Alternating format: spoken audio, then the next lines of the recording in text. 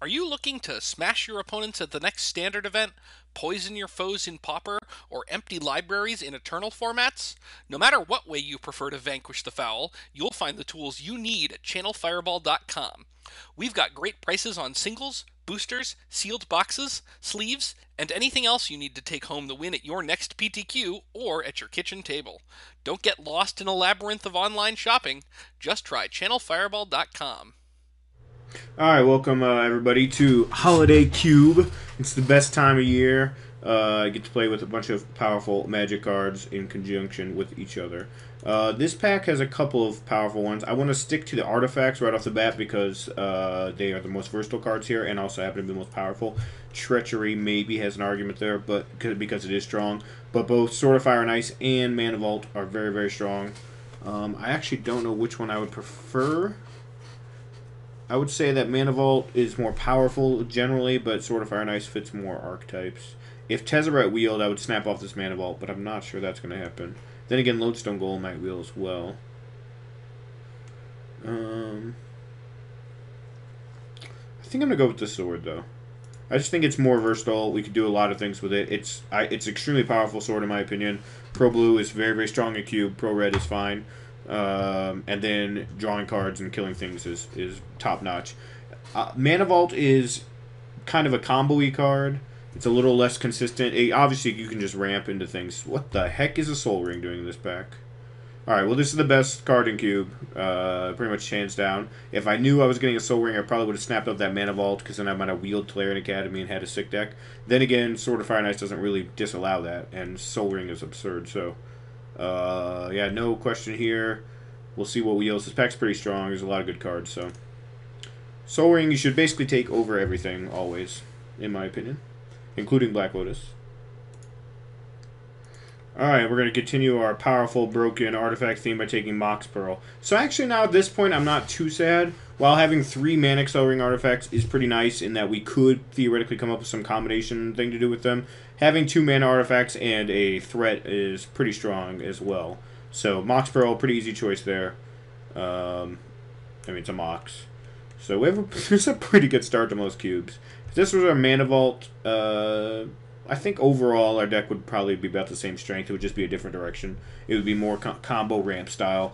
Right now we're more uh, open to being an aggressive deck that wants to use like land tax or Armageddon or something with sword or we could still be like a combo deck that uses Tezzeret to go grab Mox Pearls and Sol Rings, and then Sword of Fire Ice can just be like a kind of a utility card within that deck.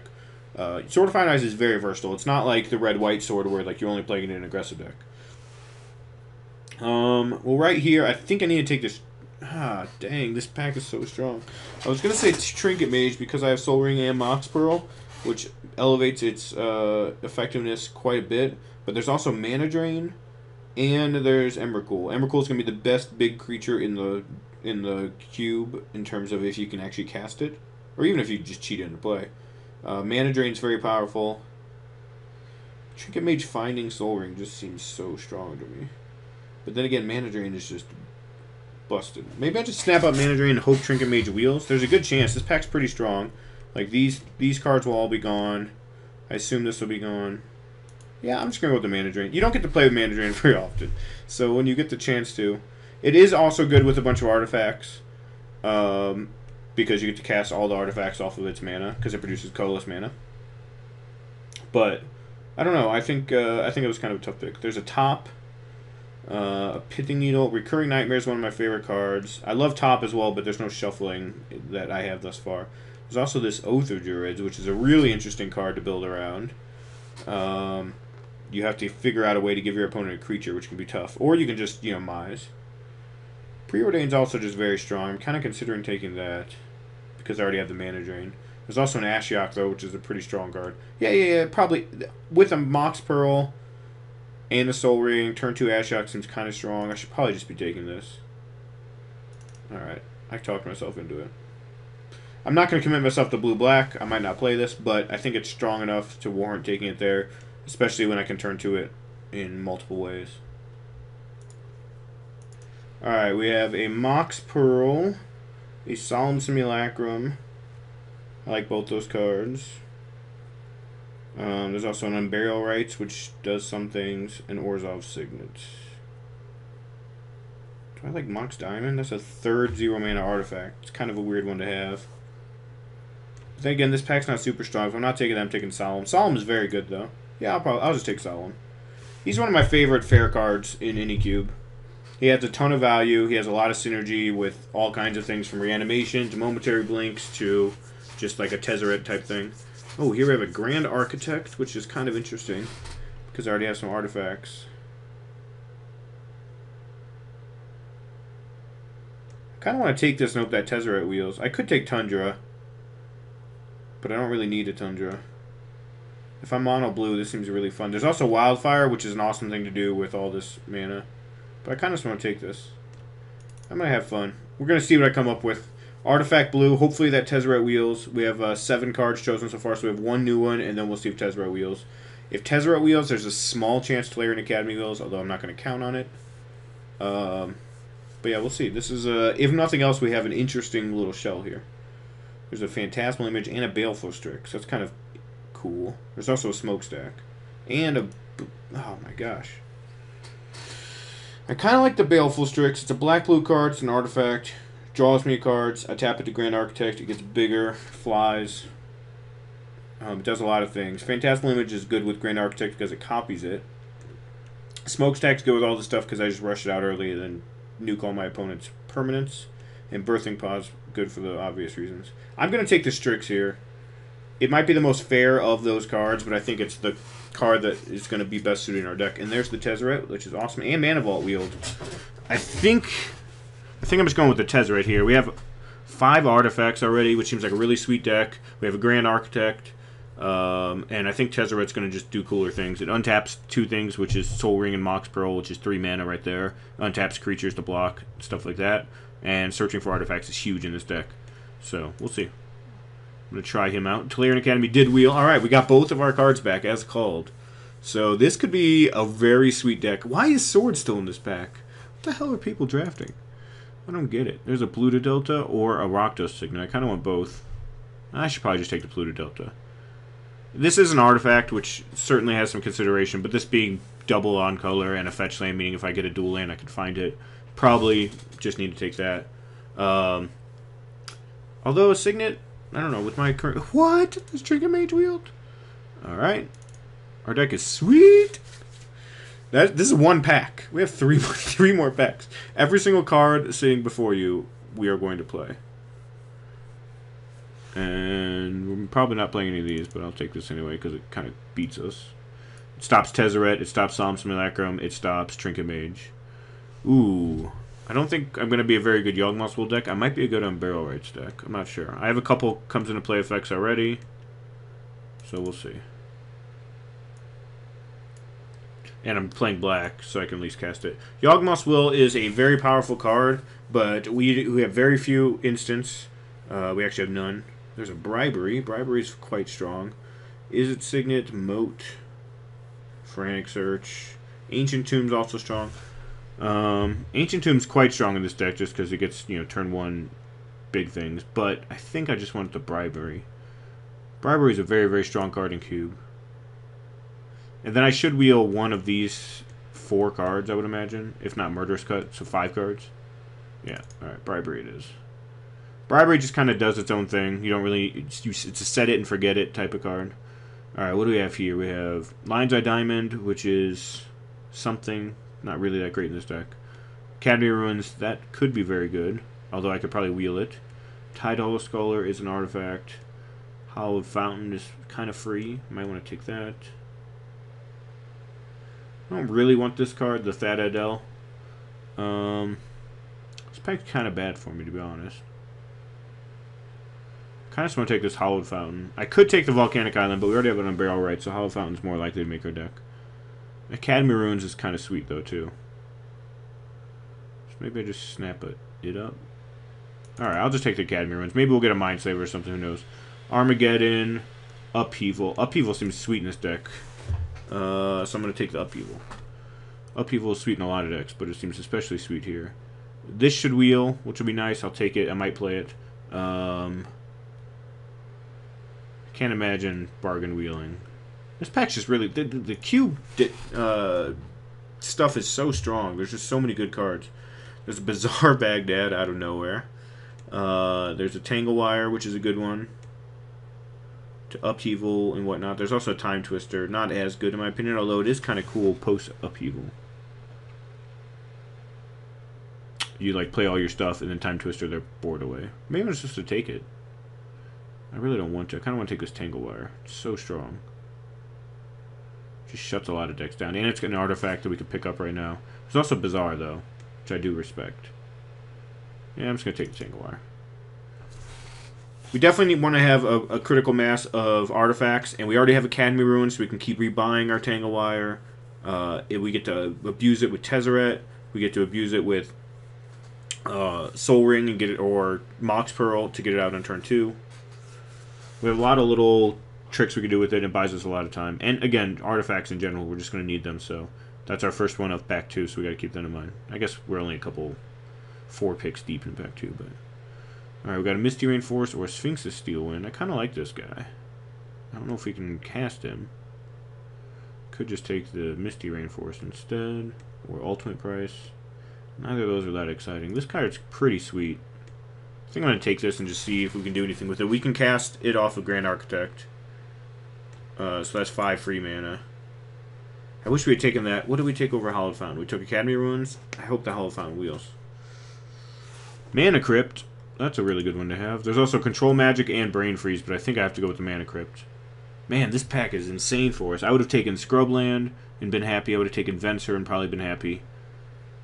Um, control Magic also, and and Brain Freeze. Brain Freeze is a really good post upheaval, but Mana Crypt is just insane with upheaval. It's also a very good tool for our opponents against our upheaval. So, I'm just gonna snap that off. All right, we got a Delver. Not too interested. Probably just take this Adarkar Wastes. It's kind of free. There's a him, but I'm not gonna be able to cast. So I'm gonna be heavy, heavy blue.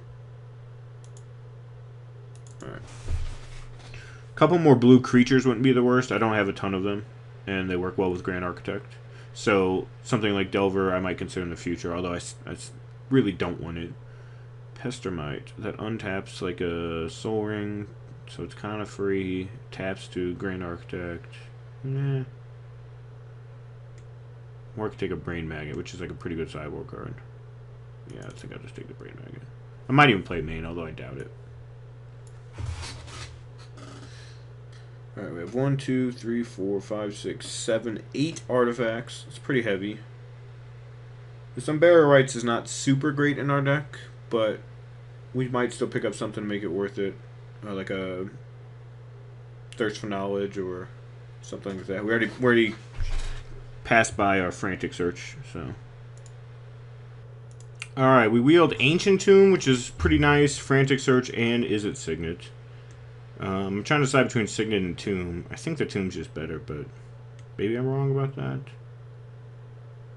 There's also Frantic Search, which is kind of nice with uh, Tolarian Academy and stuff. I guess Tomb isn't that... I guess I'm going to take the Izzet Signet. It's an artifact. I was looking at my thing... All my cheap spells that like a Tomb could really cast early. Baleful Strix, Mana Drain can't do that.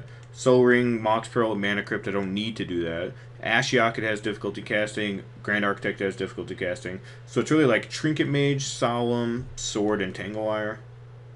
And Izzet Signet does at least some of those things as well. I don't know. Maybe that was a wrong pickup, but I need some artifacts. I do have Academy still. I do have Tezzeret. I have Grand Architect. So two drop artifacts are kind of nice. That was my first one. Maybe I was wrong. I'm not sure. Um, Tidal Scholar or Terminus. I could see playing either. We have a Mox Pearl and Adarkar Wastes. I think I'm going to take this Terminus. Just so I have the effect somewhere. Ooh, Bargain did wheel. I could take the Bargain, but... There's a Relic Progenitus, which is kind of a nice card to have around. Beats a lot of decks. We have a tutor for it. Sits and play, does stuff. Yeah, I'm just going to take it.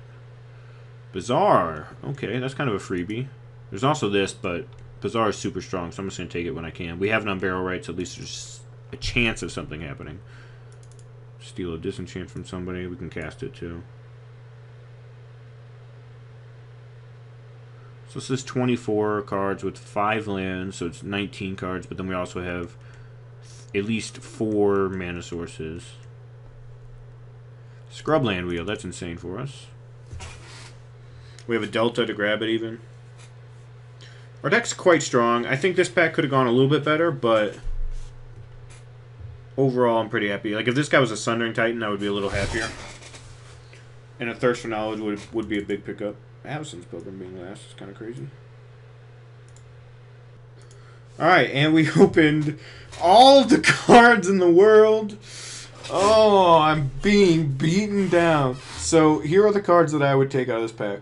Time Walk, Balance, Sword of Body of Mind, Wurmcoil Engine, maybe Chrome Mox, Inkwell Leviathan, Stoneforge Mystic, Sundering Titan. I would take all of those in a heartbeat. I feel like I just have to take the Time Walk. But I really want to take this Wurmcoil Engine. I guess if I take Time Walk like in one of these cards wheels, that's another threat. Balance is not going to wheel. Balance would be quite good in this deck, but it actually isn't that good against us, so... Is Balance better than Time Walk? It might be. Might just be a better card.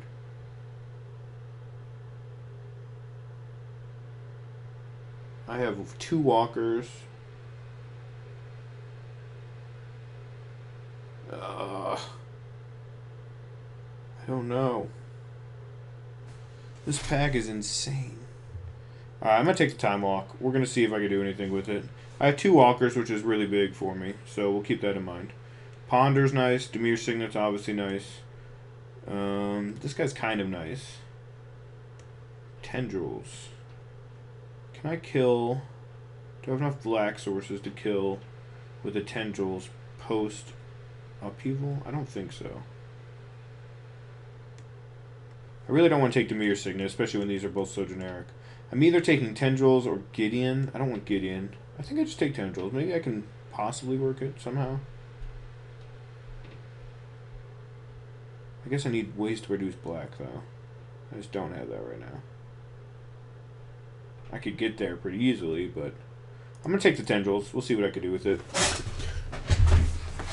I should wheel a Signet or a Ponder out of that pack. Either one I'll be happy with. I think I want uh, Dimir Signet more than anything, because that's a black source that works with Tendrils.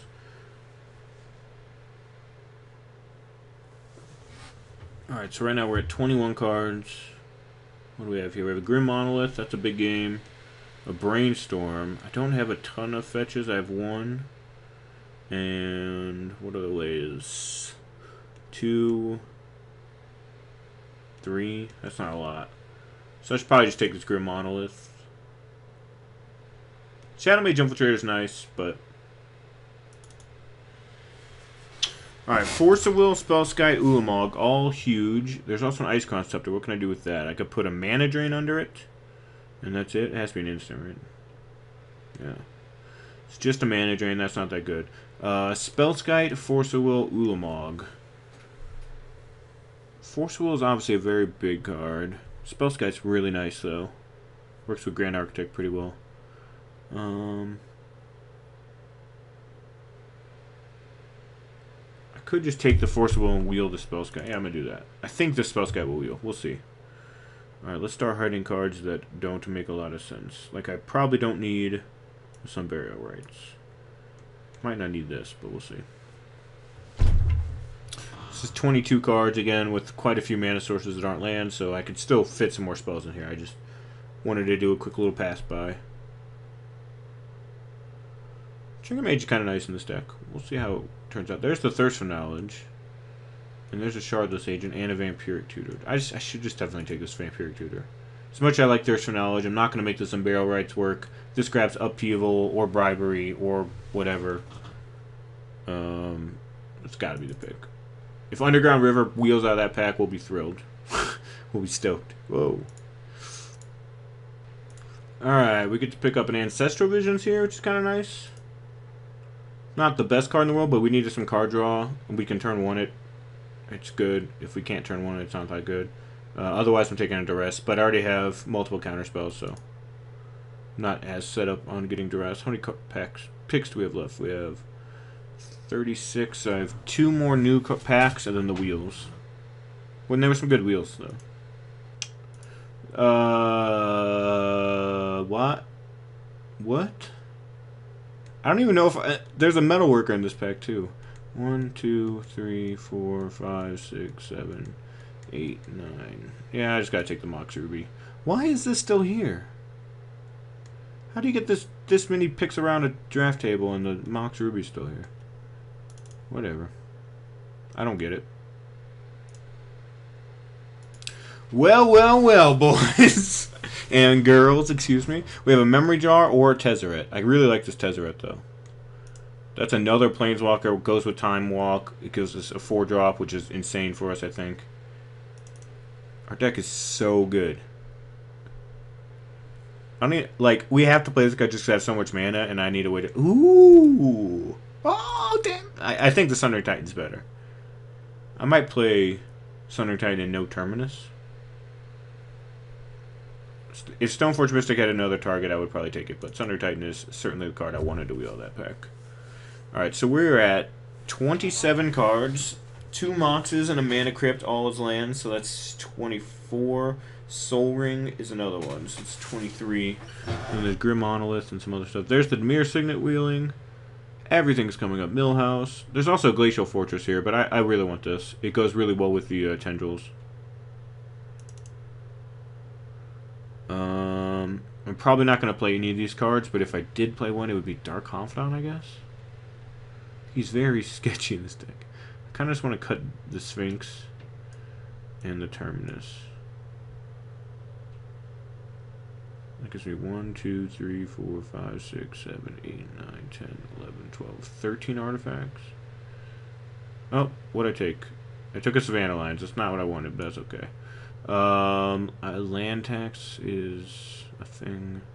It's also this. I already have one of those. I'll take land tax, sure. Underground River Wheel. Perfect.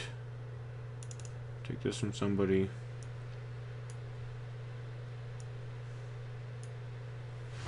So I think this is the deck. Grand Architect could be better, but he still has a, at least this to fuel himself. How many creatures do I have? Only five creatures. This Sword of Fire and Ice is not that good. But I also have Ashiok, Vampiric Tutor to find it, uh, um, Tezzeret to turn things into 5-5s. And the Metalworker Wheels? What the hell? Oh my god. I don't even know what to do. This deck is so sweet. I had too many good cards. I gotta cut something. Is it Relic of Progenitus? It feels like such a free roll.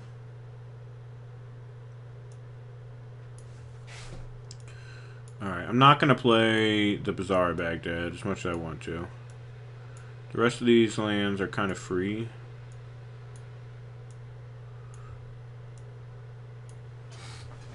Academy Ruins is good with Tanglewire, Solemn, Tezzeret, Sundering Titan, drawing my deck. So this is 27 cards. We have one drops, mana. I'm gonna count all these as mana. So this is 27 cards with seven mana sources. 13 lands. Can I get away with that? It's kind of like 14, 15, 16, 17 lands. I'm not going to count the other ones as lands, but... Um, Tolarian Academy does hurt a little bit, but it should be fine. I guess I have no white cards in my deck at this point, so the uh, the scrubland isn't needed. Neither is the Adarkar Wastes. I could board them in if I bring in any of these white cards. Or I could cut Relic of Progenitus, go down one artifact down to, let's see, 7, 8, 9, 10, 11, 12 artifacts. kind of like it. I don't know why, but I kind of like it. It's also just a free cantrip I can tutor up with Trinket Mage, although I have two Moxes and a Sol Ring and a Mana Crypt, so I guess I would never do that. Maybe I do just cut it. I could cut, like, Ashiok or something. But I think this with 13 lands might just be perfect. I don't know. Let's see.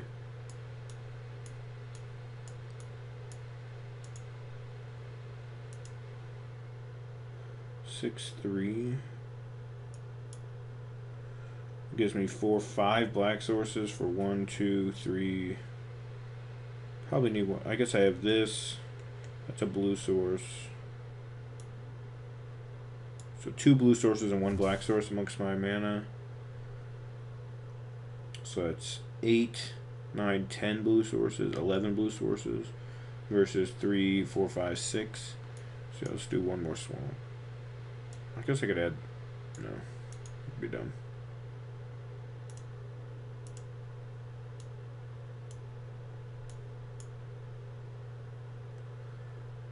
Think that's fine. If I add another land, it would be cut relic, add island. Which might just be correct, I don't know.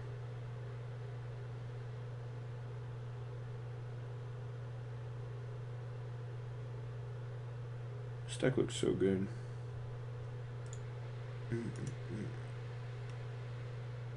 Cut this, add island. That's like a lot of mana. I think this is fine. Convert mana cost is relatively cheap. Bunch of freebies. Yeah, I think this is fine. Uh, if we need a doctor or anything, it'll certainly be the Relic of Genesis, especially once we know we don't need it. Uh, I expect us to kill a lot of people via Planeswalkers, a lot of people via Tendrils. Upheaval is going to be working. Like, this deck just does so many cool things. I'm really excited to play with it. So we'll be back for uh, round one here shortly, and uh, I'll see you guys then. ChannelFireball.com, Holiday Cube. I'm Conley Woods. Be right back.